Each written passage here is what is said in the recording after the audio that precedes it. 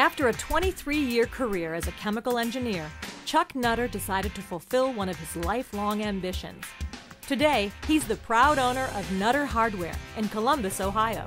I looked at all the different chains, and without question, Ace seemed to have the best support structure for someone that just never got into this before. And best track record, definitely the best uh, in terms of uh, reputation out in the uh, consumers' minds, et cetera. And it really had a great local feel uh, as cliche as that sounds, it felt like a family right at the early stages where actually they form relationships with you and their actions, you know, back their words where they were there in as their primary goal to help you and support you and make you successful.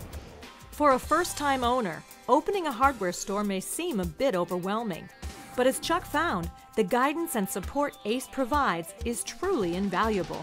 The first challenge you face is okay, I'm going to open a hardware store. Now, where do you start? Who are you going to get to help you?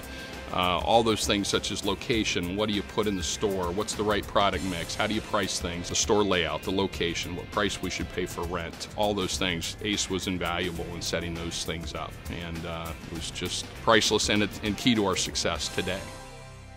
ACE also provided a wealth of knowledge and expertise when it came to merchandising, a challenging task for any new store owner. They did a phenomenal job, but on that note, though, it's an ever evolving process. There's rarely a week goes by that we don't say, you know, I find myself saying, you know what, a good hardware store should have that, and we continually add products. So you need to know your market, what market you're in, what you can sell, what you can't sell, what you should be selling, and what you shouldn't try to be selling. In addition to the support he received when opening the store, Chuck Nutter continues to rely on ACE for assistance with the day to day operation and to help him continue to learn and improve. They're always there when we need them. Um, they push us when we need to be pushed. Our district manager, for example, routinely calls me and says, Chuck, I'm going to be in on this day. What do you need from me? I said, I need you to continue to tell me where we can get better. I need you to push us. Don't be polite. I need you as a coach, not as a cheerleader. And you know, these folks have all these years of experience and they see many other stores. They know where things are successful and where they aren't successful. And that also comes from a regional manager as well. From the start, Chuck knew he wanted to be actively involved in the community, a sentiment that's echoed by every successful ACE retailer.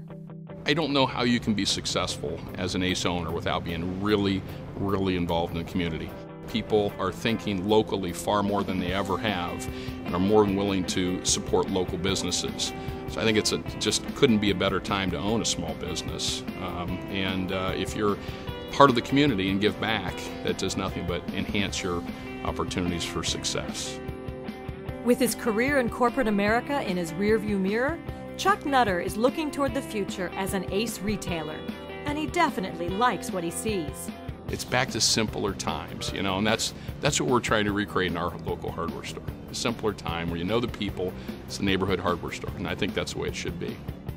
For more information on the ACE ownership opportunity, call 630 990 6900 or visit myace.com.